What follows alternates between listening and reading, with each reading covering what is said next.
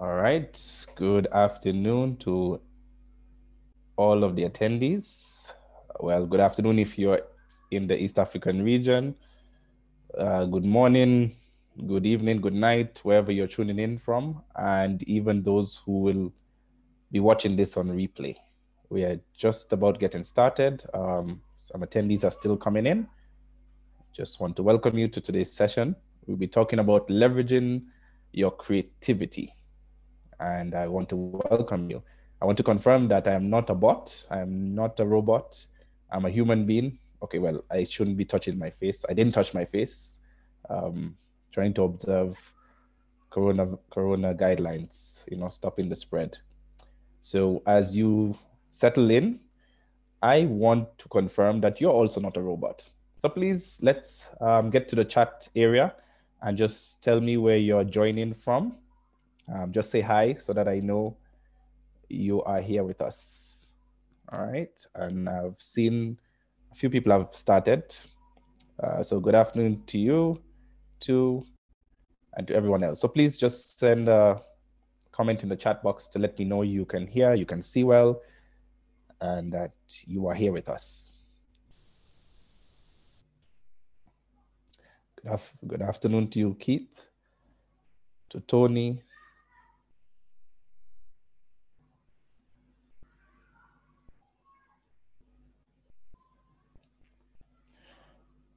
And as you comment, I am gonna start sharing my screen so that we can get started.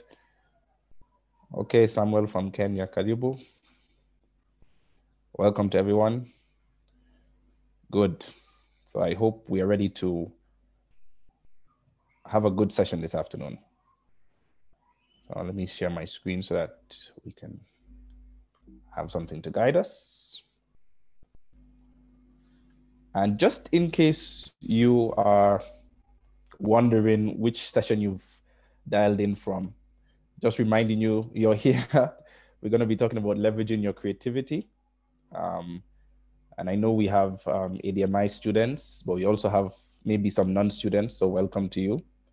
My name is Robert Agufana Belle. I am, as it says on the slide, a transformational speaker. Speaker, sorry. I'm not a motivational speaker, and there's a difference for me.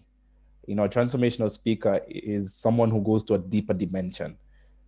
So I'll tell you some good things today, make you feel good, but I'll also tell you some stuff that might not make you feel so good.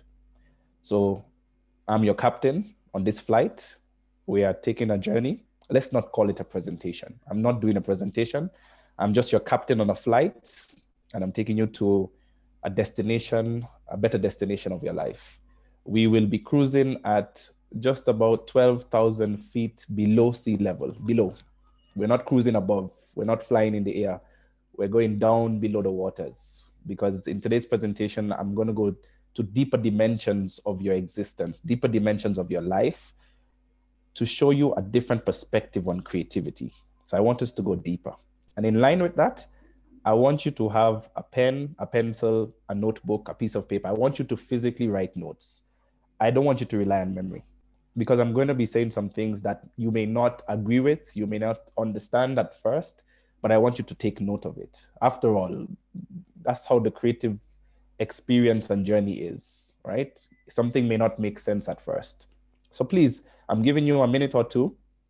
Get uh, your pencil, grab your notebook, because I want you to take notes. And I'll, I'll tell you why later. So please grab a notebook and a pen. And of, of course, you can leave comments in the chat box. There's a Q&A feature. You can ask questions there. I'll take questions throughout the presentation, but we will have a session at the end where I'll answer all of your questions. But if you feel that you have a question on something specific that I've said, you can drop it in the Q&A section and I'll be checking it regularly to make sure that I'm addressing your questions. So please grab your pencil and your pen and we will get started. While you do that, those of you who already have your pencil and your pen, your pens or whatever, your notebooks, the first question, I want this to be very interactive as much as I have slides, the slides are just to guide the conversation. I'll be asking you some questions, so please respond in the chat because uh, I want to see where you are so that I know who I'm speaking to. So, first thing that we're going to do, please write in the chat. In a very, in one sentence, when you are young, when you were young or younger, when you were a small child, what was your dream? And I'm not talking about your profession. I'm not talking about what you wanted to be in terms of work, but just what were your dreams? You know, what dream? Give me one dream you had.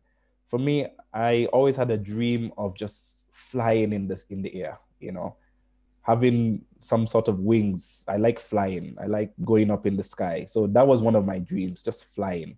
Another dream that I had was uh, just experimenting and trying something. I, I, had a dream that one day I'll create something so a, a, new product, something new, maybe the internet. You know, when I grew up, we didn't have the internet. We had encyclopedia.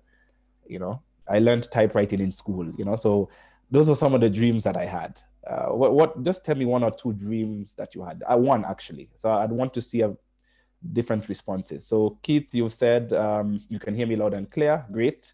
Um, Barak says that his dream was traveling the world and flying as well. Oh, yes. So good, good. Welcome. So, welcome to this flight. Please make sure you have on your seatbelts because it's going to be a very bumpy flight. I can guarantee you that. But the, the other thing I can guarantee you is going to be a safe flight. We're going to arrive at our destination alive. Wow. We're going to arrive alive. And I love traveling. I love flying. I've been to many, many, many countries and I can't wait to start doing that again. So that was a dream that I had. Um, we have someone tuning in from Nigeria. Welcome. Oh, okay. Angela says one of her dreams was to marry rich. Okay. I don't know. Did you mean you're going to marry someone rich or you're going to be rich when you're married? Uh, I'm not sure which one which one you meant there, but that's a good dream. Um, I'm waiting for one more dream, just one more dream. Can someone else give me what their dream was when they were young? or is still it's it's still a dream and the reason why i'm asking this is as i introduce myself further uh, i help people who have given up on their dreams to think freely to create unapologetically and to live abundantly that's what i do in life right so i help people who have given up on their dreams get back in touch with their dreams and i want you to think freely to create unapologetically and to live abundantly now, noticing that there's nothing about a profession. Now, let me clarify. My profession, I am an accountant. I am a pin carrying accountant, right? Yes, I am an accountant. And many people tell me, how, how are you an accountant? You don't seem like a typical accountant. And that's what we'll discuss in the in the flight today, in the in the in-flight entertainment, that your profession should not define you right? It shouldn't define you. It should just describe you. So yes, I'm an accountant, but that's not all there is to me. I there's so much more about me, and that's how I I I'm able to do that because I've learned how to leverage my creativity. All right, so there's one more um, wish that says make and fly my own helicopter. Awesome, awesome. Can I hope it's still a dream, and I hope you're still working at it.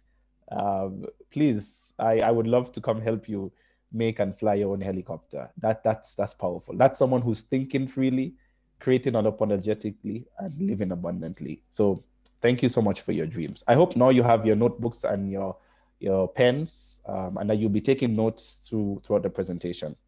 All right. So that's who I am. Um, again, my name is Robert Belle. I am an accountant by profession, by training. I am a very proud accountant I am a member of ACCA's Advisory Council in Kenya. I chair um, ACCA's Kenya Member Forum for SMEs. I'm a member of ACCA's Global Forum for SMEs. I work with SMEs. I run a consultancy called SMIP Consultancy, where we focus on service based businesses and entrepreneurs, particularly those in the creative um, industry and, and, and service base, as I said. We help them to break through the barriers that they face in growing their business. I, I help them connect the dream of the entrepreneur with the reality of the business. So that's what I do in a nutshell.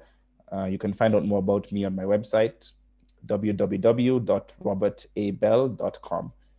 And I will type that in the chat, but I'll also leave my contacts towards the end. All right.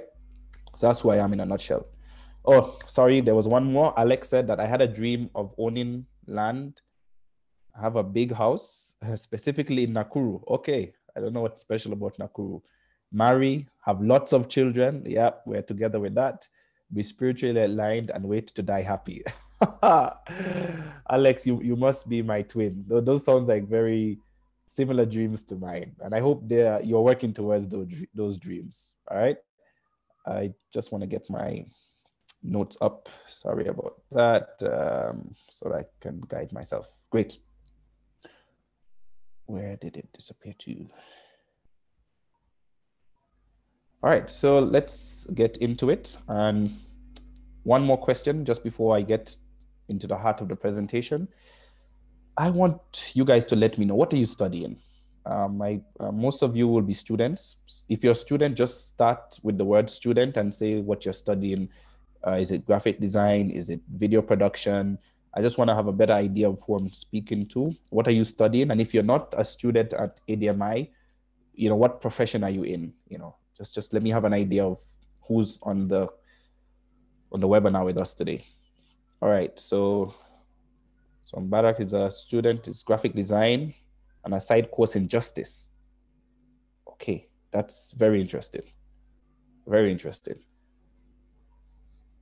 I would love to find out more how justice and graphic design work together. I hope you you can graphically design a new constitution for us, not BBI, but maybe something better. Okay. Uh, Tony says a student learning music production. Okay. Uh, Divine says she's a student at ADMI sound engineering. I hope my sound is good. I hope there are no clips on the sound. Um, I'm not a sound engineer, but I have a little understanding of sound. Uh, there's a librarian here with us, a university lecturer in business administration. Great, welcome. Uh, another student, graphic design. Yeah, I figured we might have a few graphic design um, people on, on the webinar. And then there's another student, sustainable energy, sustainable energy engineering and climate climate change mitigation from Cameroon. Wow. I have no idea what sustainable energy engineering is. Um, I kind of have an idea of what climate change mitigation is. Uh, great. And Carlton is a student. He's doing animation and motion graphics and VFX. I know that acronym. I don't know what it stands for, but I, I have an idea what you what you do. Um, Keith is a student of journalism, and okay, good. Thank you. Thank you for the acknowledgement that the sound is good. All right. So the reason why I ask you to tell me what you're studying or what you're pursuing what your profession might be, is majority of us, um, um, particularly the students at ADMI, we hear a phrase or expression saying that you you're you're aspiring to be a creative or you are a creative. But I want to start out today with the flight being very bumpy, and I want to make a very bold statement, you know, and tell you that you are not a creative. None of you here on this webinar as far as I've seen, is a creative. All right. Or Samuel has come in and says that he's a father out of employment. All right. Sales and customer support profession. Okay. Welcome. Welcome. Um, so, yeah, none of you are creatives. And I say it very boldly and with confidence and ready to take all the backlash or you know any lawyers in here might want to start debating me on that and i'm ready for that none of you are creative what i can say is that all of you, none of you are, you're not a creative, but all of you are creative. Okay, English, fine. It, it might sound like a small difference, but it's a very, very big difference, right? Usually, you see, in society, we have come to a point where we separate and say someone is a creative, someone is not a creative.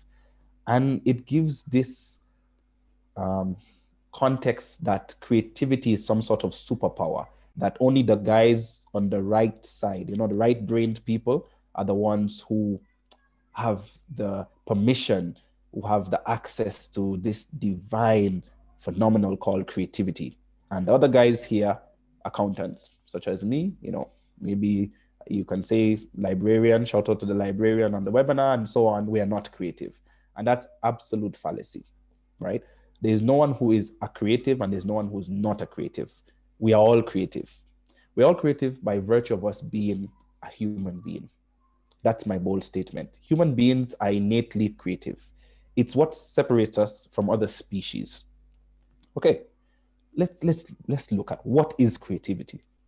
Creativity means something different to every single person. I agree, but there's some generally agreed upon definitions by neuroscientists, by psychologists, you know, by the experts, if you would call them, with all due respect, that what creativity really is. And I've put on the slide what creativity is. And for me, it's, it's creativity is this sort of duality sort of thing, right? It's about searching for information and combining that information. You know, I say that creativity is about creating dots and then finding the connections to those dots, right? It it's something that our human brains does naturally. Being creative is something that we do, it's something that we are. It's not something that we have to do. So not because I haven't studied a creative course or I'm not in a creative profession means that I am a creative. Right? Or even if I don't means that I'm not a creative. We are innately creative as human beings. We do it in our everyday lives without noticing it. But because of our lack of understanding of creativity at times, we believe that only artists, musicians, and so on are creative type people, but it's totally not the case, right?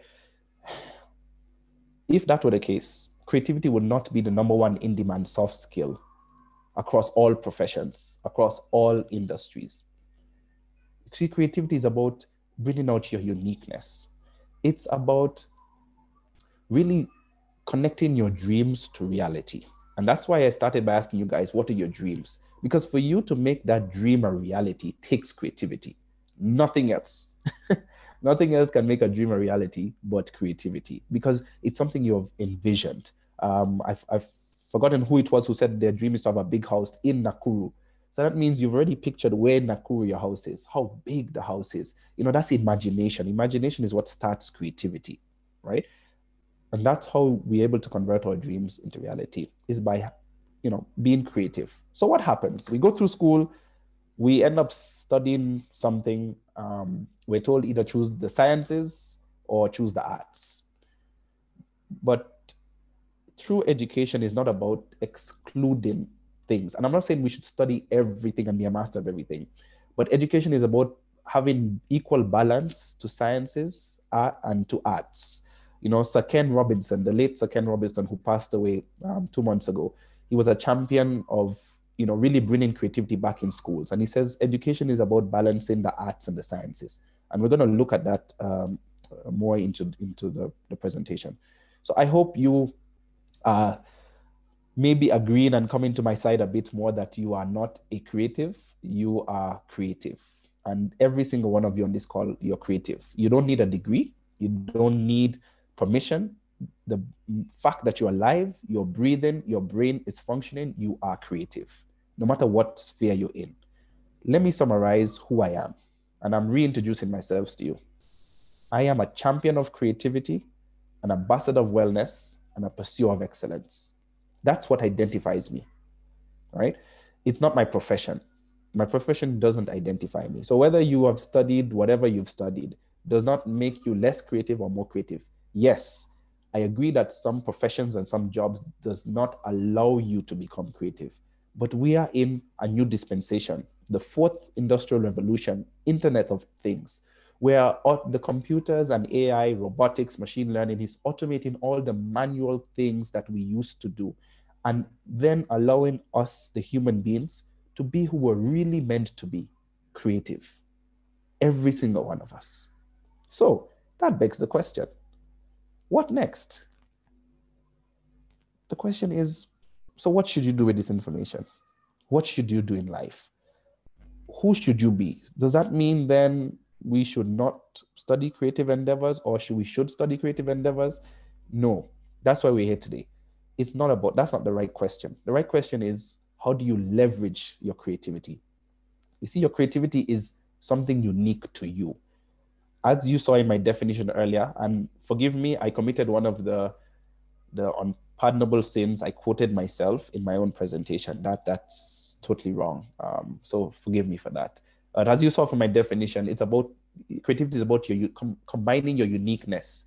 There's no one else in this world who has the combination of your life experience, the knowledge that you have, the exposure that you have, the way you see things. There's just no one else. So, how do you leverage that? And when you hear the word leverage, leverage has different definitions and different meanings. I come from a finance and accounting background. And when we say leverage, you're leveraging your debt or equity in a business to grow a business. You're leveraging other people's money to grow your business. In life, we say we're leveraging an opportunity, you're leveraging a situation, or you're using something to leverage, you know, what you're trying to achieve. So creativity is not an end. Creativity is a means to an end. You, in order for you to leverage your creativity, you have to first understand that being creative is not the end. You don't study sound engineering or whatever it is, graphic design, and then say, I am a creative. No, you are already creative. You study graphic design so that you can leverage that innate creativity, that uniqueness you have in you to deliver value to whoever you're meant to serve. And that's why ADMI exists, isn't it? In your vision, right? It's about creating, turning your passions into profitable business that have impact. So you study a creative endeavor, in quotation marks, to have an impact. You're leveraging it. You are transforming the information you've been given. You're transforming the knowledge of graphic designing. You're transforming the knowledge of journalism. You're transforming the knowledge of accountancy so that you may deliver value. You'll deliver value, you'll solve a problem, you'll create value. And all of you on this call, particularly the students, especially students at ADMI, you are the engine to drive the future of Africa. Whether you're in Cameroon, Nigeria, Kenya, Ghana, we need you. We need you to be creative, not study a creative course. We need you to be creative, to get solutions for us that will move Africa forward, that will transform Africa, right? UN reports show that the majority of the population in Africa are young people right? By I think it's 2035, 80% of the population will be young people, or they were already a majority of the population in some some countries. But we're not seen at a leadership level. We're not seen at an impact level. Yes, we can fight for our position. We can fight for our acceptance, but we need to make our impact felt. So you're not here to just study a creative course and then sit back and just do that creative course. You're meant to have an impact. In other words, you're you're not just here, and I'm not here to allow you to just have movement in your life. You're moving from one level to the next, one degree to the next, but without any motion. You know, I can move without, I can have movement, but no motion. It's like a rocking chair. If I just sit in a rocking chair, I'm moving, but there's no forward motion, right? And creativity is what drive societies forward. I say that we're living to, we're living in the reality today of yesterday's dreamers. The people who dared to dream yesterday, not give up on that dream, are the ones who created the reality we're living in today. So, my question for each and every one of you is which reality will we live in tomorrow? Which reality will you live in tomorrow? Will you live in your reality or someone else's reality? You need to be able to move forward from just being a product to being a producer. You have to produce something. Leveraging our creativity requires us to be producers, to be problem solvers, and to another deeper level, problem finders. Creativity helps us to find a problem and solve that problem. Take note of the dreams you said when you had when they were younger. What has happened to them? Have your dreams changed? What has happened? You know, there's a gentleman called Tolstoy, who says, Everyone thinks of changing the world, but no one thinks of changing himself. Everyone thinks of changing the world, but no one thinks of changing himself. I would love to see someone tell me one of their dreams was about changing themselves, right? And someone said, yes, one of their dreams is to marry rich. Um, that's changing yourself, but at a deeper level. How are you changing yourself? The course that you're studying, how is it changing you? How is it changing you? You know, the things that we do do things to us. When I do accounting, it's doing something to me. It's helping me to understand that every shilling counts. Every there's nothing insignificant because if my balance sheet cannot balance, I'm not trying to get into too much accounting jargon, but if my books don't balance, that is teaching me that I can't take small things for granted. When you're studying in graphic design, in, in sound engineering, what is it doing to you? And I want to get some responses from you in the chat before we move forward. Whatever you're studying, whatever your profession is, what is it doing to you? What do you think it's doing to you?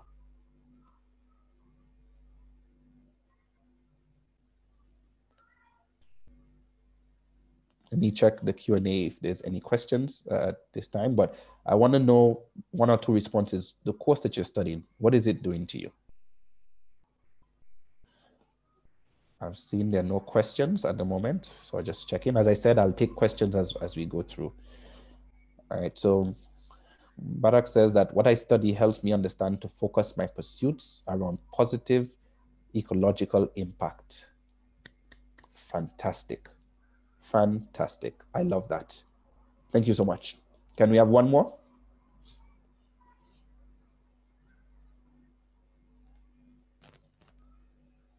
Anyone else? As I move to the next slide. Great. Thank you, Angela. Studying actually empowered me to live my own dream and not my parents. I love that one also. And I'm sure a lot of you who are studying at ADMI can testify to that. You see, our parents and the generations before understand that studying a career is about being a lawyer, a doctor, an accountant. You know, the traditional rules, which is what the education system pushes and pushes and pushes. For you to study what you're studying here needs some sort of deviation, needs you to be able to look for your own path needs you to be able to find some sort of purpose in life, needs for you to identify why are you here? What should you do? And and that's so it's not just about studying to not do what my parents did. You're studying so that you can find yourself. And I'm happy you said that because I'll, I'll, I'll allude to that even more as we, we go on in the presentation. All right. So here are three things that I say creativity does for us. There are three punches I say being creative does. Right. And I want to clarify something as I get into that. Earlier, I said that we're all creative because we're human beings. But the challenge is a lot of us have things that block us, inhibit us from being creative. I say it suppresses us. Our creativity gets suppressed from external forces, such as society, education system, sometimes our parents, you know, our culture, but also internally are things that block us from truly being creative self doubt, anxiety, fear of failure. I, I want to stop there. I think you, you understand what I'm saying. At a deeper level, there are things that block us from really being creative. Acceptance. Can I continue? Acceptance by others. Validation validation by saying, hey guys, I have this idea. I want to start this business. What do you think? You know, I, I when I mentor people, especially young people and, and, and mentor people who transition from employment to business, I tell them never ask that question. That's a question you should ask yourself. You're asking someone to validate your own dreams. That can never happen, right? No one will ever validate your own dreams because they don't understand your dreams. What you should ask is, I'm thinking about starting this business. What should I look out for? What should I observe? What should I whatever? And if someone doesn't agree with our dreams, we, we let it go. So creativity gives us three things.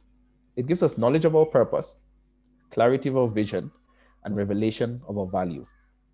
Back to the inhibitors that block us from being creative. When I started this journey of championing creativity, I spent a lot of time in reflection, and these things came to me. I have no idea what what they meant at that time, but I wrote them down. That's why I told you to write things down today. What if you might hear something that I say will spark a thought in your mind, write it down. When I did this, it's only this year, as a matter of fact, very honestly, about two months ago. I like reading um, psychology journals and so on because neuroscience and psychology are very closely related to creativity and when I there was a publication in the Journal of Psychology that talked about identity formation, and this is what they said: the identity formation process has three key things. One, discovering and developing one's potential. Two, choosing one's purpose in life, and three, finding opportunities to exercise that potential and purpose. Now, I've juxtaposed those two things so that you can see how closely aligned they are. When I read this, I was like, what is happening here? What is happening? We are meant to find our purpose in life, you know, to, to see where we can exercise that purpose.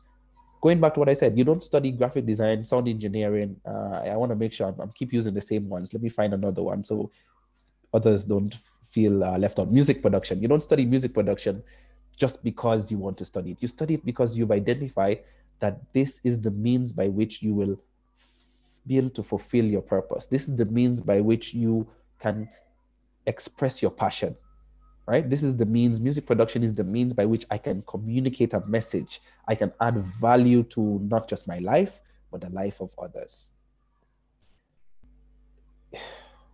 Your profession should never be your sole identity. That's what I'm trying to say. Creativity is what should bring out your identity, your uniqueness. That's who. That's what identifies you. you your identity should never be fully intertwined with your profession because your profession can change. So if I decide I don't want to be an accountant anymore, what happens to me? My identity will go with the profession, right? And there's some professions that I knew when I was growing up that no longer exist. There's some professions that exist today that were not there when I was in school research even shows us that 65% of children in primary school today will do jobs and have professions that do not exist today. The course that you're studying today, if somehow it was not there next 10 years, what will happen to you? Would you function in life? Would you still have a purpose in life? That's the question that you should be asking yourself. And you know what we're going to do? We're going to get into some science. I'm here to talk about creativity, but I'm also here to show you that science and art are not mutually exclusive. They are so intertwined. The reason why they're intertwined, and maybe we don't understand why they're intertwined, is because when we went to school, we studied science to memorize it, as we do other subjects. We didn't study to understand the meaning and you can only understand the meaning by questioning things. And, and, and sadly, in our education system, particularly in an African context, questioning something, hey, you know, forgive me to say Kiswahili chapwa. You can't ask questions. How will you ask questions? Right? So we don't get the full meaning of things. And I want to take you back to some basic science to show you why it's important to have an appreciation for science. Right? Uh, there's a gentleman in Harvard called Drew Gilpin who said that education is designed to prepare us for life without a script, for a life with any script. Education is to prepare us for life without a script. As you study whatever you're studying, don't just study the context of the course, but study the concept. Study yourself, study how you fit in. When you do that, you'll be able to identify what is your uniqueness. There's so many music producers. There's so many uh, graphic designers, how does that help define you? Right? You you need to have a differentiating factor, and that's what creativity is. Creativity is your differentiator. So when we talk about leveraging your creativity, you are leveraging your uniqueness to uniquely position yourself, giving yourself a competitive advantage. And I can boldly, but not confidently and boldly state, but without being, you know, proud or boastful, that no one can compete with me. Absolutely no one. Because there's no one else like me. No one else can do the things I do the way I do them. The way I'm presenting today, I don't think anyone else can present like that because no one else is good at being me. You know, everyone else is taken. I just have to be me. And when I become myself and allow my uniqueness to be expressed, including the flaws, then that, that, that works for me. No one can compete with me. And when I'm able to position myself like that, I will have impact. Last thing I'll say on that is I want you to avoid studying a creative course simply to become artistic or creative. Because you can be artistic without really being creative. I'll repeat that. You can be artistic without really being creative. What do I mean? I mean, you can learn the technicalities of a course of study. but still fail to be creative. You can be a music producer and you know how to produce music and so on, but if you're not creative, you're not going to have the impact you would like to have. You can be a graphic designer. You can use the Canva. I don't know what you use for graphic design in the, the software, forgive me, but I know Canva. That's what I use. You can use Canva and you can know you can know the, the technicalities of color coding and blocking, and there's some technical stuff I don't understand. And you can know that. But if you're not creative in connecting your view of things, your uniqueness, solving a problem, then you you have robbed yourself. You have sold yourself short. You have limited yourself. You have not allowed yourself to live abundantly. Let's go. I sum it up by saying creativity is an identity extractor. Creativity brings out your identity. I'm sure. Can anyone uh, tell me in the chat? I know that you're still with me. Do you does that statement make sense that creativity is an identity extractor?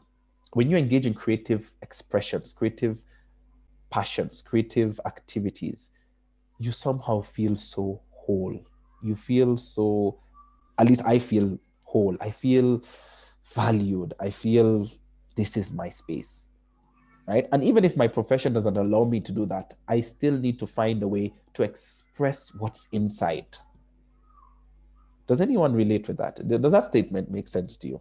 That creativity brings out your identity. As you're doing your sound engineering, as you're doing um, what, what graphic design and animation, right?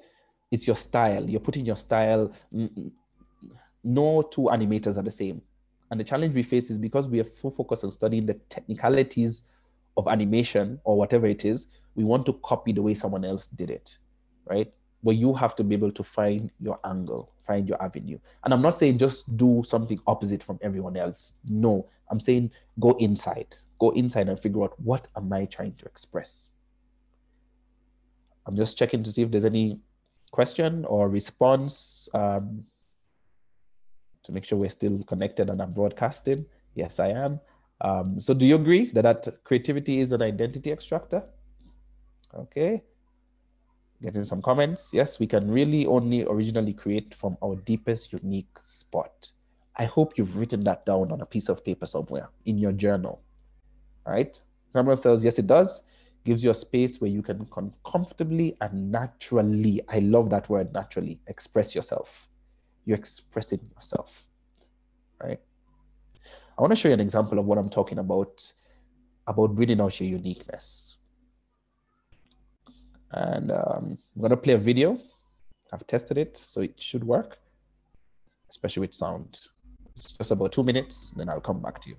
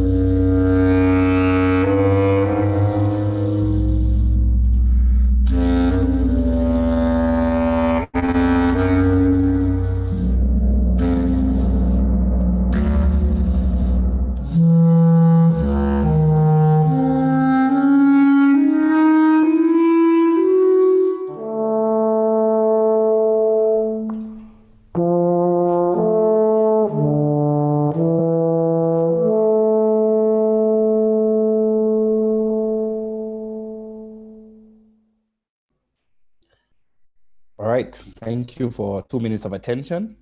And just to give you context, you know, it was um, a BBC short clip on Pablo Picasso, you know, one of the very renowned artists of, of the 20th century, right? And Picasso is, is a Spaniard. He's a Spanish um, uh, citizen, but he grew up, he spent some time in France. And there were, during those times, there was a lot of war with the Nazis, with the Germans. So during the Second World War, Picasso, you know, he stayed in Paris and the Germans occupied uh, the city at that time, the French city.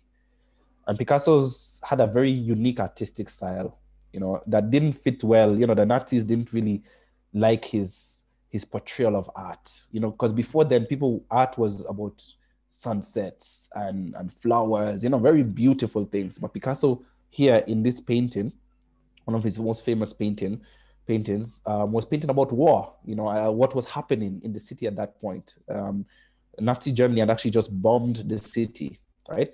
And so he did an exhibit, and he was off, often harassed by. Um, there was this this elite military unit, you know, for us in Kenya, something like GSU or Recce Squad. You know, they were the the tough guys, right? The Gestapo. That was the unit called. And so during uh, one day, they came to search his apartment, and the officer, one of the officers, saw the photograph of the painting, right? And this this painting, I, I can never pronounce the, the name of the painting, uh, uh, but you'll forgive me for pronunciation. So the, the soldier says, Did you do that? And you know what Picasso said? No, you did. Powerful. Picasso was showing the soldiers and the world what they were doing. He was portraying, he was using his artistic abilities to communicate, to to deal with the issue of humanity, to, to fight against war. He did it in a painting. And that's what sparked a new revolution when it came to artistic expressions. And, and I use Picasso as the example. I was trying to find some, you know, even more African examples, but I was I had a bit of difficulty. But this Picasso, allow me to use it, you know, um, was just showing us that look, your profession, your artistic abilities, all those things, they must be combined right? It's not about being exclusive.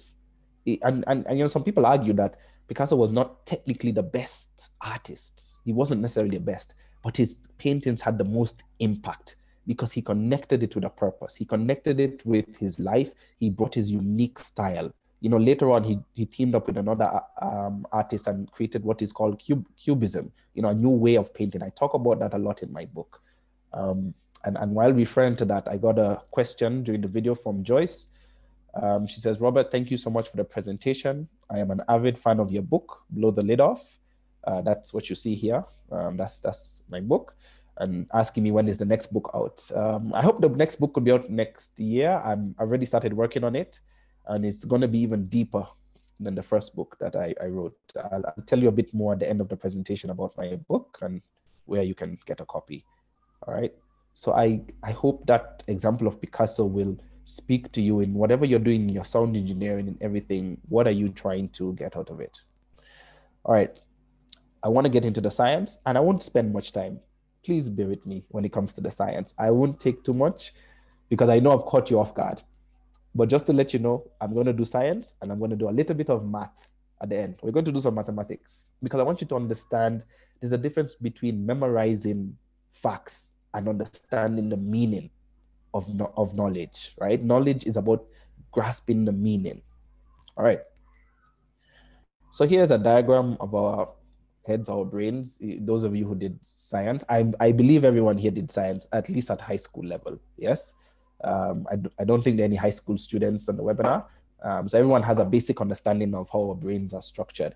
If you don't, you probably did at one point and you memorized it. You can even draw it when you're doing your you know your your a your O levels, right? I'm sure you remember it. We remember drawing it. Uh, what these things were, maybe we don't understand what they were, and that's okay, right? You see this large area of the brain, you know, the bigger mass area is called the neurocortex, and it takes about 80% of our brain space.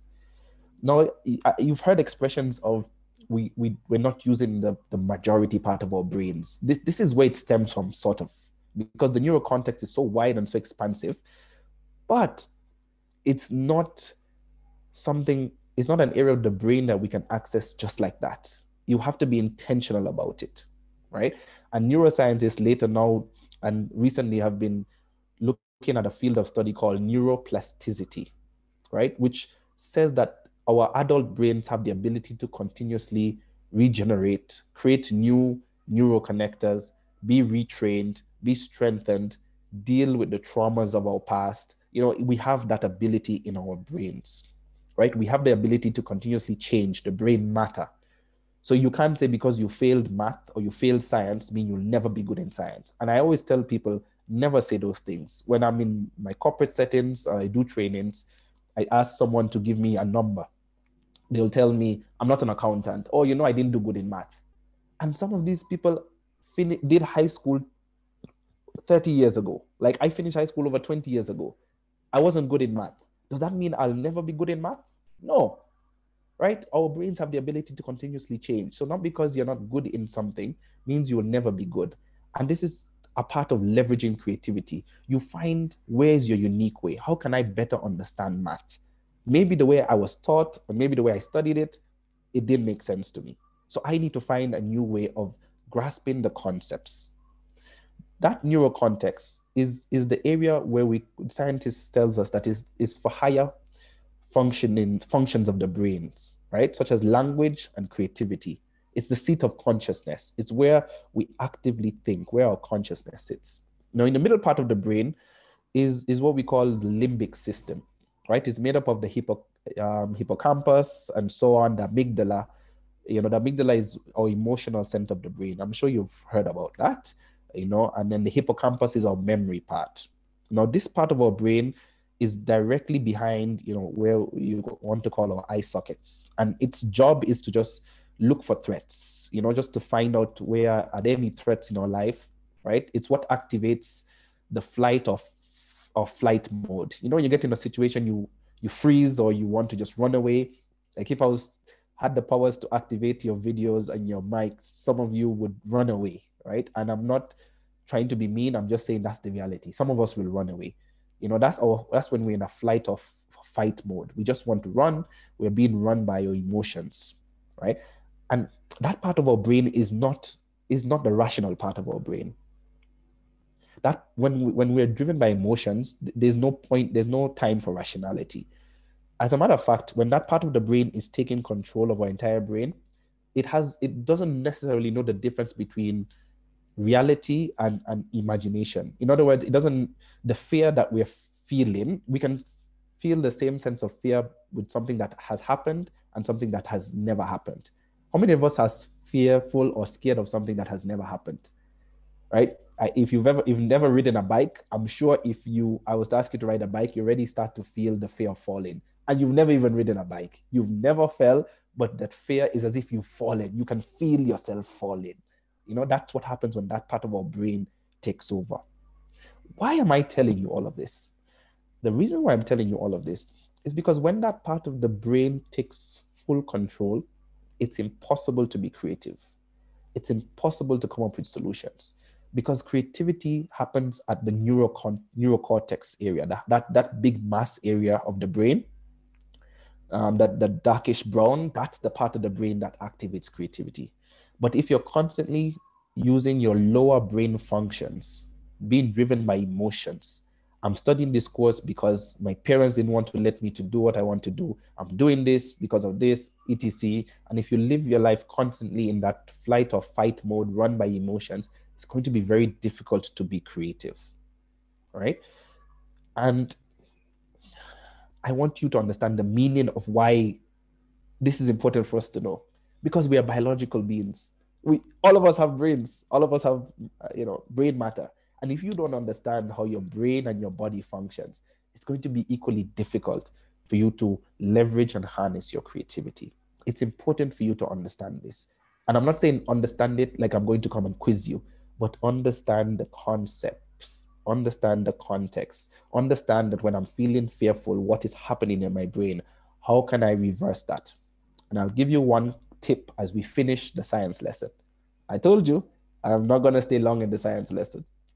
Now, that lower part of our brain, the back part of our brain, is connected to our breathing, our heart rate, our lungs through what we call, what scientists call the vagus nerve. When we are constantly in this fight or flight mode, messages are sent downstream into this part of our body, right? And tells the body, listen, get ready, there's danger, there's problems. You know what happens? Heart rate increases. You start sweating. You start shaking because now your body is responding at a you know at a metabolic rate it's it's getting ready. And the, the reason the heart has to pump harder is because it needs more blood. Where does the blood need to go? We have no idea. The body doesn't know because the brain is just saying i need i need energy. Where? You don't know. I mean if you're lifting something heavy and you you know i i, I like exercising you know and my trainer tells me i need to have mind muscle connection. When i'm lifting the weights i need to make sure my mind is focused on activating this muscle. So it will send messages and my heart will pump, send blood to the muscle and squeeze through the pain and squeeze through the pain.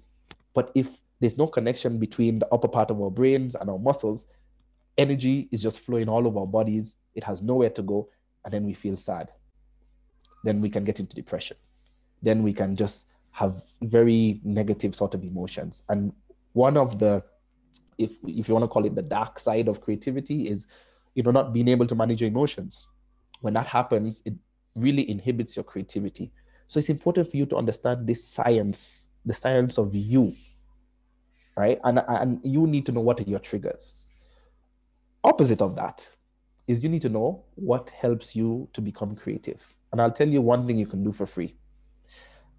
Taking a deep breath. Wherever you are i want you to stop what you're doing. Sit upright if you're sitting. If you're lying down on your bed, I can see you. Sit up on the side of your bed. I don't want you to take a deep breath. Just take a deep breath in and a deep breath out. Another one, deep breath in and a deep breath out. Now, what happens biologically when we do that is that we are sending a signal up our vagus nerve to our brain to say, listen, I am going to breathe normally because there's no danger. The only how you can convince that part, the lower part of the brain, the limbic system, that there's no danger is biologically. You can't just think positively. No, I'm not scared. No, I'm not scared. No, I'm not scared. And you're shaking. You have to take a deep breath. That's why strategies such as thinking to 10, counting to 10, taking deep breaths. That's why you find people who are creative, like going out into nature, taking deep breaths or exercising. I get a lot of ideas when I exercise because I'm able to control my breathing. That's something you can do so easily. So the next assignment you have in sound engineering and you feel nervous, you you're stuck, or you're trying to produce some music, take a deep breath, take a break. And I can go into so much more science about why taking a break will help you to be creative. But I won't do that here. I just want to spur your appetite. I told you this flight is going to be bumpy, right? and you're going to feel like you want to get off. But I've locked the doors. There's no emergency exit. You're staying here until we get to the end. Okay? Give me a yes in the chat box if you agree with that. You're staying on this flight till we get to the destination. All right? So that's why you need to understand the science of it, right? Because this is how it will help you leverage your creativity. So, my question to you would be what are you thinking? What are you feeling? are, your thoughts and your feelings connected? This the dreams that you've had that you still have when you were young, are they in sync with your emotions? Are they in sync with what you're doing? Are you working towards that? The course of study you're studying, will it help you to get there? How will it help you to get there? All right. Um, seen in the chat, yes, at least one person has decided to stay on the on the flight. Um, please put on your own oxygen mask but check on your friends. Um, make sure no one is sleeping on this flight. Make sure they have not um, they're not you know feeling overwhelmed. So I hope you guys are still on the flight, and um, I'm still your captain. Please don't overthrow me as the captain. Allow me to take us to the destination. Right. So someone says, "Wow, an MS NBC journalist actually does this deep breathing for her show." Yes, exactly. You know, I had to do that before I come here, and I speak many times. But every time I need to just calm myself down, and ideas will just come out of my head. Last part of the science lesson when we let the emotional part of our brains take control and the rest of our body follows suit in this nervous state, the neuroscientists tell us we do something called downshifting. Right? And downshifting doesn't give us that excitement of a challenge. When you're constantly letting this part of the brain take control, right, you will become fearful. But a creative person allows a challenge to excite them because they know I can find a way around this. And during this time of a pandemic, we need creativity even more because we need people who can stay calm and find a solution to thrust us forward into the new norm, not back. We need to move forward into a new norm. And creative people have that ability because they're able to calm themselves down. They're able to let their brains, the upper part of their brain, the neurocon- neurocortex, take control. That's the end of the science lesson as we move forward. So, was science that bad? If it was, it's okay. You don't have to agree with me. Take notes. You can come back and think about it. All right. All right. So, I want to transition um, one or two points, and then we get into math, and then I'll I'll open up to Q and A. So stick with me. We're almost there. Take a deep breath. So, who are you? Right? And I love this quotation. I would like you to read it for yourself also, but I'll read it. I am not what I think I am. I am not what you think I am. I am not what I think you think I am. Sorry, I am what I think you think I am. Many of us have been caught in this identity crisis. We're not really who we think we are, right? We're not who you think we are, right? But for me, I know I am who I am right? That's who I am. I don't know if it makes sense. I, I I always try to make sure this makes sense, and that's why I want you to take note and internalize it for yourself. Who are you? You're not a graphic designer, right? You're not a sound engineer. You are who you are. As I told you, I am a champion of creativity, an ambassador of wellness, and a pursuit of excellence. That is who I am. It doesn't matter if I have a job, I don't have a job. It doesn't matter if you tell me to go pack bags at well, not Nakumatt. I need to update my slides, not Nakumatt. Uh, Quickmart, right, or a supermarket. I will still champion creativity as I pack bags. I will still be an ambassador for wellness. I'll still pursue excellence. I'll be the best bag packer you've ever seen because that's who I am. And I use creativity to bring that out because I have to approach my task with a creative angle. So I've seen a comment that says, You're the first one I've heard explaining why we should take in deep breaths. Thank you. You're very much welcome right? I'm conscious of time, let me move.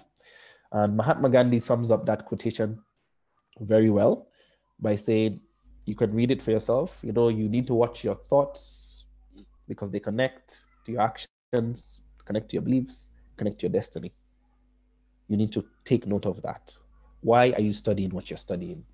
What do you really want out of it? Where are you going? We've belabeled this question a lot. Those are questions for you to answer.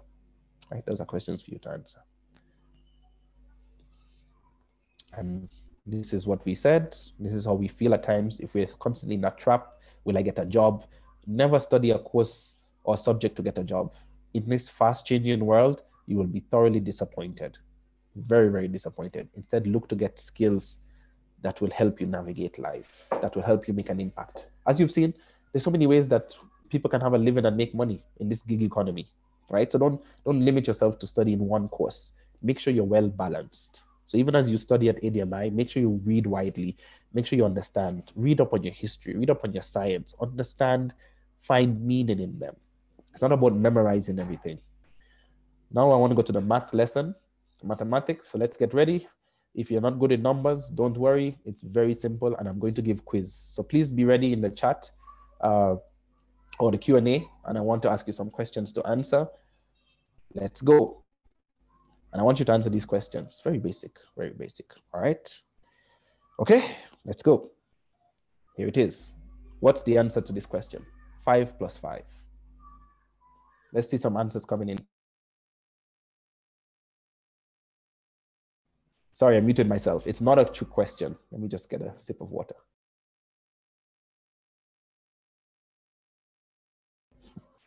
All right, I'm seeing 10 coming in, 10, 10, 10, um, 10 in the chat box, 10 in the Q&A. Fantastic. I want to tell you guys who answered 10, you are absolutely correct. I want to increase the degree of difficulty a little bit. I want to increase the degree of difficulty a bit. Let's see who can get this one. Let's see.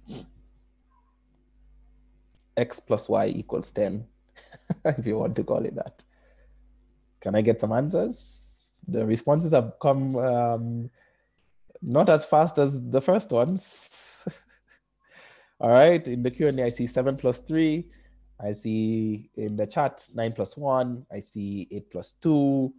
Come on, let me let me see some answers. There are multiple answers. Okay, good. Give me some. Give me some answers, please. 7 plus 3, 6 plus 4. Great, great, great, great. Now I want to show you something. Many of us know this. We've memorized our numbers. We know our number line. But in life, we've been so mentally prepared to look for the answer, one answer.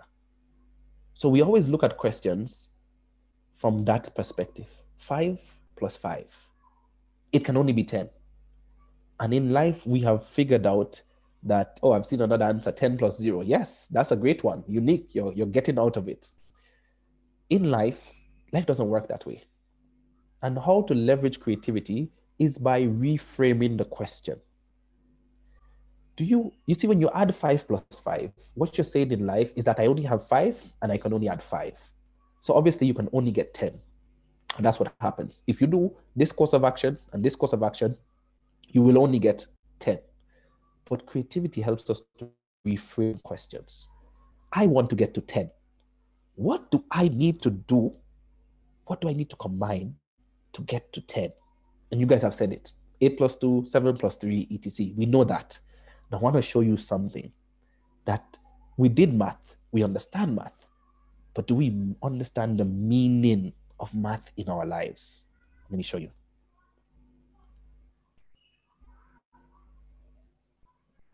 Coming up. So many of us said 8 plus 2. What about this?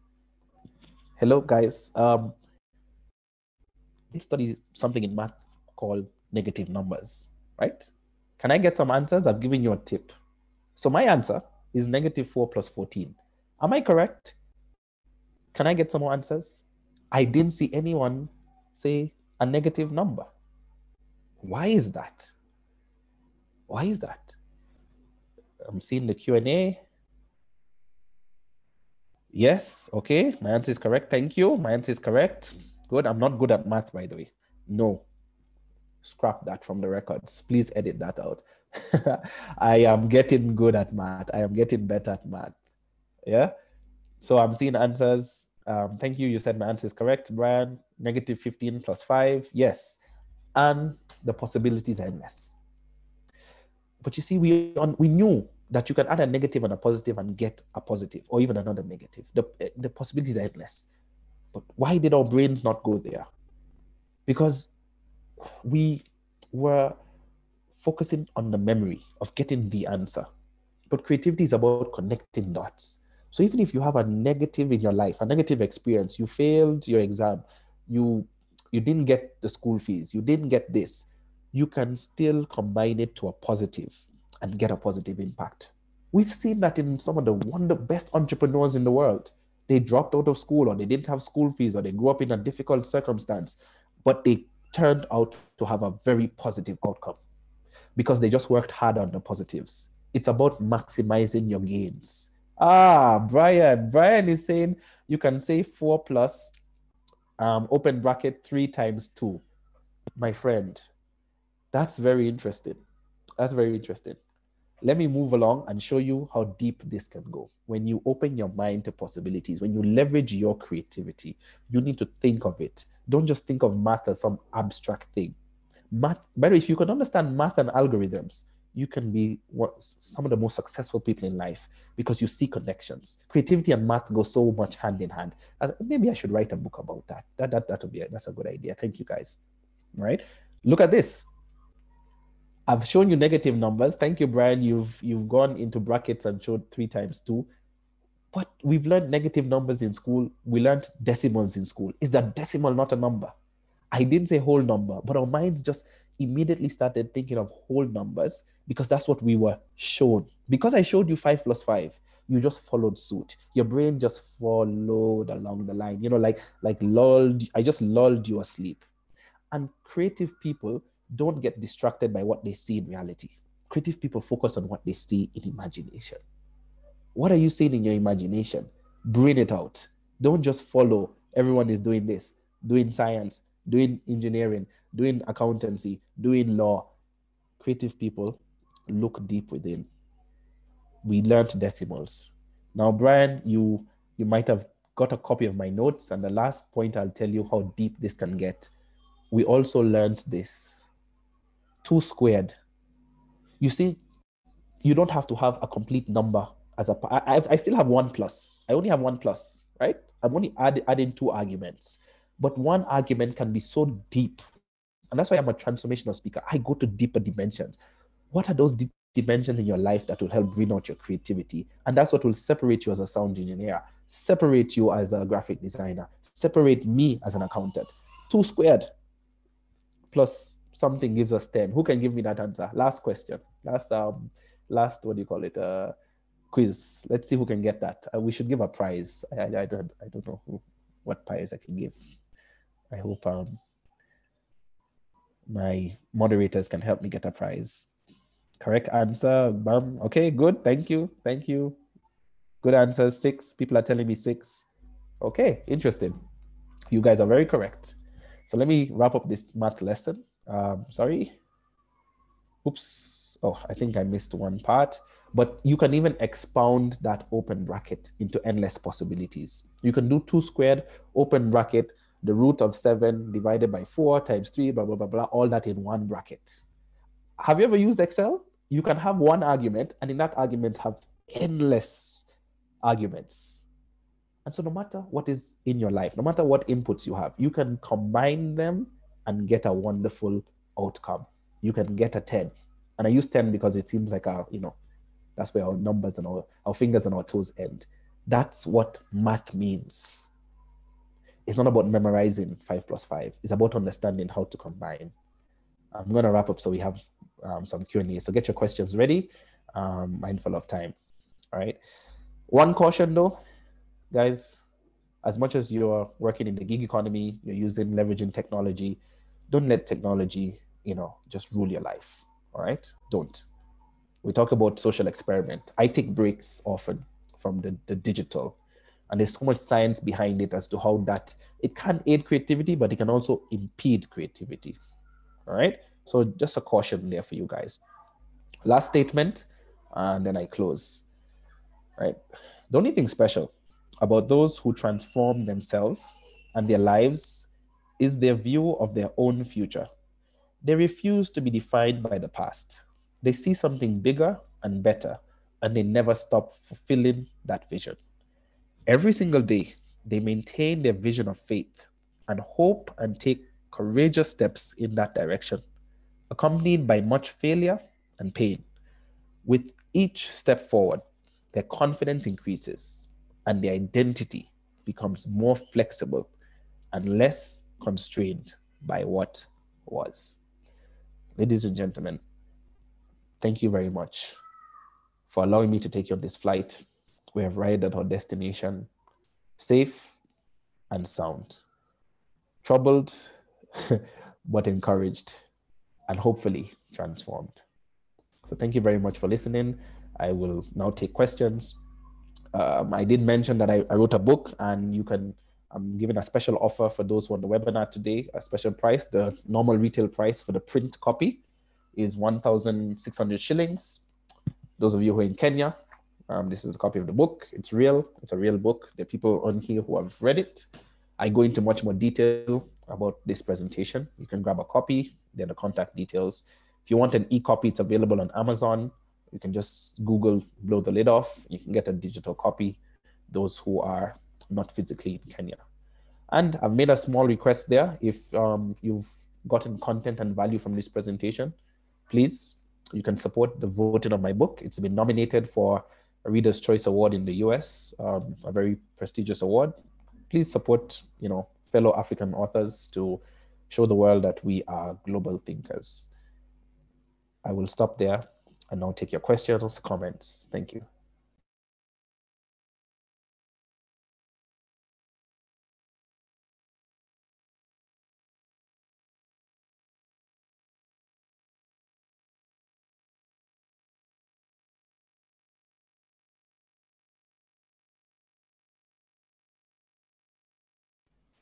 Okay, we have a question. And he says, um, What does a true education entail from your understanding? Hmm, that's a very good question. I talk, I talk a lot about what true education should be.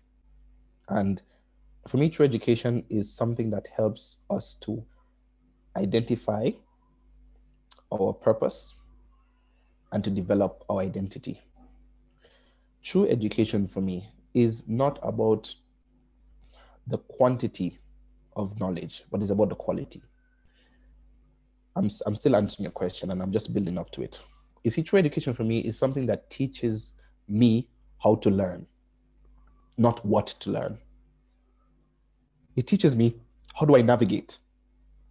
It teaches me how do I continuously uh, pivot in life because it teaches me how to maneuver my way through life, relevant life we live in a very dynamic world. And if education is not teaching me how to manage these changes, um, emotional changes, you know, dealing with different people, um, working with different people, you know, collaborating with different people, if education doesn't teach me that, then it is not true education, right? It has to teach me all these things. For example, you know what? There's a you those of us who are in Kenya and, and other places. There's the big debate: should we open schools? Should we not open schools? Look, for me, it's neither here nor there. Education takes place whether you're in school or not. We need to just be intentional about it. Right now, and I'm gonna shoot a video about that on my YouTube channel. I don't even think we should be teaching the curriculum when we go back to school. What you should be think doing, especially for younger kids. I mean, for you university students, you can you can manage that, but um, still, every single student, whether in university, wherever, for me, you start back school, whether digitally or physical. For the first two weeks, no no curriculum. We talk about what have you gone through, what have you learned, what have you struggled with, how can you better manage it you know, people, yeah, a lot of people might argue that, look, that's not the work of school and etc. But school has changed, right? It, it, school has, schooling has changed, education has changed. It must have an impact and meaning in my life. That's what will be my answer. I hope I've answered your question. There's another question. What was or is the biggest challenge you face? Easy, believing in myself. That is and will continue to be the biggest challenge, believing in myself, nothing else. Because if I believe in myself, there's nothing that I can't do. I um I believe in God and and that's so if I believe in God and he has I believe in God and he has given me abilities and strength and he can take me through anything. So if I just remind myself of that, I can do anything. I can do anything. So that's just the biggest challenge. Nothing else is a challenge. Everything else are just the way to the destination. The rest are just clouds, turbulence, rain, and that happens to everyone. The biggest challenge for me is just making sure that I can trust myself. I can trust what God has put in me. I can believe my uniqueness. I can believe that I am meant to do something. That was from an anonymous attendee. I didn't get your name. You can tell me your name. All right, I'm checking the chat box. Any comments, please um, also, give a comment on what might have stood out for you. It's good to see what you got from the session. Um, it helps me also to better present in future and to know what people are connecting with and what you connected with. So I would appreciate if you guys can take some time to just write in the chat box um, what you're getting out of this. And if you're watching this on replay, you can comment wherever you're watching this. Um, I think this should be live on YouTube. You can make a comment. Um, questions? I'm free to take other questions. We have, I can see just about 12 minutes. I think my moderators told me I would stop at 3.30. So we, we do have some time. Or would you like to go back to some math or science? or we go to engineering. I can show you how engineering is related to creativity. But let me not overwhelm you today. You can get in contact with me. I did say I'll leave my contact details. Uh, let me just drop it in the chat box. I should have put it on the slide. I give you my website. Yes, I give you my website. And from my website, you can find my social media handles um, Instagram, LinkedIn, Facebook, Twitter, YouTube, also um, doing videos on YouTube. So you can get some content there. So there's a question from Brian Omolo. What are practical techniques to self learn new skills? Practical techniques to self learn new skills. The number one skill you need to learn before you start self learning is how to self learn. so, practically, how do you do that? Um, like what I ask you guys to do write things down, pencil, pen, whatever you want to call it, not digitally. There's so much science behind it that shows, and there's a quotation, I, I can't remember who said it, that the shortest pencil is mightier than the longest memory. The shortest pencil is mightier than the longest memory. Also, there's a Chinese proverb that says, Look, what I see, I forget. All right. Um, what does it go? What I see, I forget. No, what I hear, I forget. What I hear, I forget. What I see, I remember. But what I do, I understand. So, to answer your question, Brian, the best practical tip to self learn is by doing, is by engaging. That's why I told you guys to write things down by doing things. By doing is what you understand. Um, you see, knowledge, going back to the other question about true education, you see, our brains biologically and neurologically does not grow and does not learn through absorption of knowledge. It, learn, it, it grows through cognition and creativity. And you can only do that by taking part in something, right? You re- read a textbook or you read something to get the knowledge, but the understanding of the knowledge comes in practicing it. My sound engineer, Brian, I, I don't know if you told me what you're studying. Um, I, I, I, lost the, the note, whatever you're studying. I, I think, I don't know if you're studying music production. I can, you can study all about music production, but I think you get there and start doing it, then you, you won't learn. So the best way to learn a new skill is just by doing it. Want to learn a new language? Do it. Doing, doing, doing. Hope that answers you. Uh, see, there's another question. Thank you. Someone says that the math analogy really stood out. Creatives need to think outside the box. Absolutely. But guess what? Don't even think outside of the box. Because when you think outside of the box, you're still using the box as a reference. And that's what we did with the math exercise. I told you five plus five, then I said x plus y equals 10. Everyone still did numbers between zero and 10. That's what you call thinking outside of the box, right? Or maybe the negative. That's still thinking outside of the box. But true thinking, it removes the box and start going to two squared, decimals, and, and so many variants. So yes, I'm just expounding on your comment. We, to be creative, you really have to just think. Even just you get you need to get to a point where you remove the box. That's a deep deep level. And, and that's what i do in my life. I don't remove the box. When i get an inspiration to do something i'm convinced about it. I pray about it. I meditate about it. I do it. It doesn't matter if it's never done. It doesn't matter if people have done it and failed it doesn't matter if the data says that like at some point i get to a point where i even ignore data like if I've, I've because I've learned to get that trust that when I get that inspiration, I'm going to do it. I may fail several times. And what I thought I meant to do may turn out to a different iteration. But you see, in the creative process, nothing is ever lost. Graphic designers will tell you that. You do you do a graphic design, even if the final product doesn't turn out that way, what you did, that that failure was a lesson, you know. And in the creative journey, there's nothing called failure. The only failure in creativity is not bringing it out, not using it. Everything else are lessons. So thanks for that comment. Um, Divine, I hope that's I'm saying your name right. Divine says, no question, but something that stood out from the two minute video. What do you see? Yes. And she said, what do you see in caps? What do you see? From now on, you, you guys need to pay attention to what you're seeing.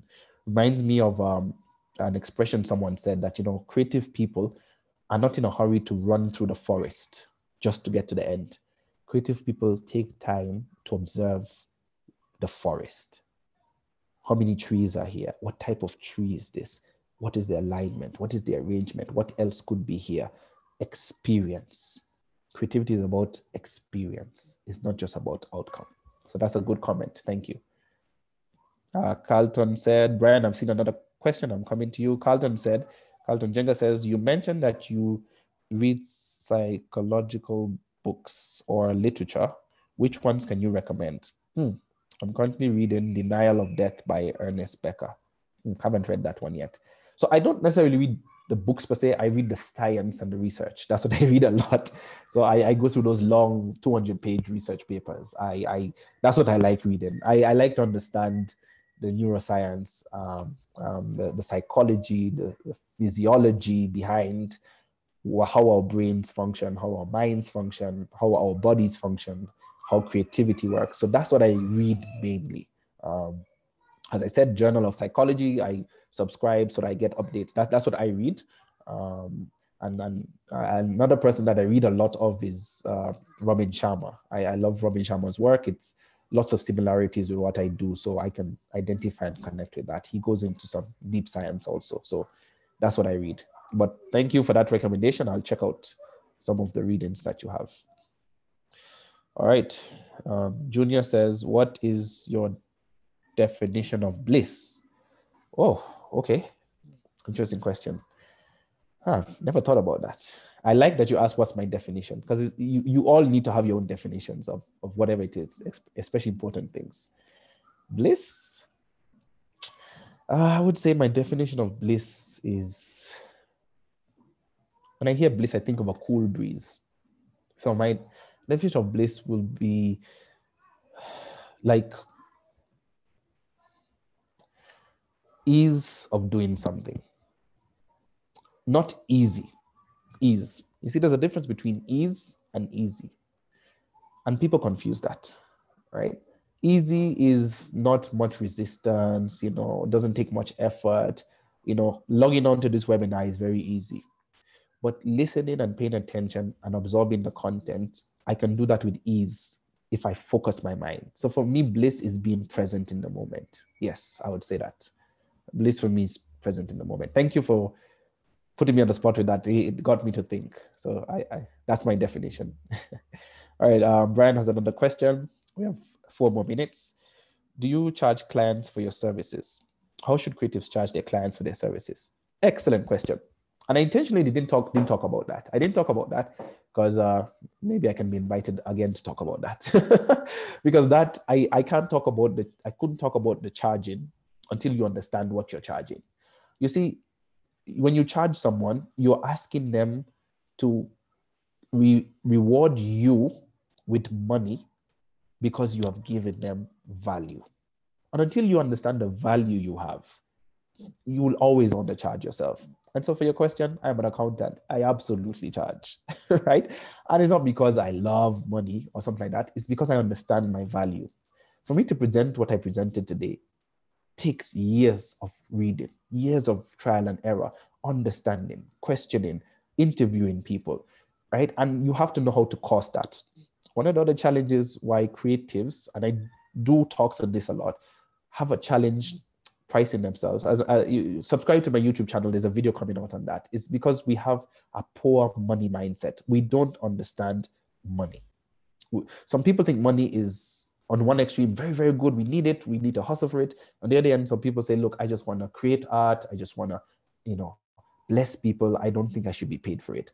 Those two extremes are equally bad right? Saying that you don't need money, money is not good, people use it to manipulate for me, expresses a disconnect with how society works, right? Everything has a value. And the way we price things is through money. That's a common denominator. So you should price for it, not because you love money, but because money enables you to do other things. And there's there's a gratification, right? There's a reward signal in our brains when we when we are paid for something. I'll flip the script on you guys to answer the question. Have you ever gotten service so good or gotten a product so good that you pay even more? I hope they're not mean people on our webinar, right? I'm sure you've, who said they like traveling? I'm sure you've had an experience and someone said 500 shillings, but you give them 700 because you feel that gratitude. You've been given value. right? So why is it that if you create such value to someone, why should you not be rewarded? Right. And there's a block. There's something blocking us why we have difficulty charging. We don't understand value. We don't understand how to put things in economic terms. I talk about it in the book because the book I look at both sides of the brain the right side, which is the artistic side, and also look at the left side, which is the logical, structured money side. You need to know how to identify clients, and I do programs about that. Um, so it's a very deep conversation. All right, one minute to go, and I'll read the last comment. Um, it says, Barak says, I saw the math analogy from a different perspective. Okay, the goal is what is after the equal sign. Aha, and the equation is what we need to work out. That's exactly right. To discover a simple way to achieve the goal, 10 plus 0 is simple. True. 6.05 plus 3.95 is complicated. Yes, and many people don't want the complicated parts. So what we do, we want to go look for a 5 and we want to look for a 5. we want to look for an 8 and a 2. We don't realize we can get different parts. So we miss opportunities in life because we're just looking for whole numbers. And there are many things, every small thing matters. And that's what accountancy has taught me. Every decimal counts, every shilling counts. We can add them together and get something. Um, and you're telling me also that bliss for me is inward and outward contentment. Love that. Bliss is where mental, physical, emotional, and spiritual health are well aligned. I agree with that. Thank you so much for that insight. Yes, I, I agree with that. It's being at peace with yourself. It's being at peace.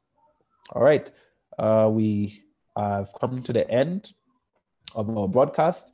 I want to be honest to our time. We were to end at 3.30. So for me, I want to thank you guys for um, registering, signing up. Please share with your friends uh, if you gain something of value here. Let's spread this message. Creativity is in high demand. It's what's going to separate us. Um, we may be talking about it a lot now, but we'll see the real impact of it as the years go down. As the Internet of Things starts to supercharge our lives, the, the importance of creativity will be, you know, become ex, ex, exponential, right? So I want to thank you guys for tuning in. I've left my contact details. Please take advantage of the offer of my book. Not trying to self promote, but just trying to give you tools that you can use to, you know, live up, to think freely, to create unapologetically and to live abundantly. And, and so with that, I want to hand over to, um, I think I'm supposed to hand over to the administrators. Yes, if I'm not wrong. Um, but for me, that's, that's it for me. Um, you may now exit the, the aircraft. Please hold on to the rails as you go down. Um, don't forget any luggage in the overhead compartment and please feel free to join our next flight. Bye-bye.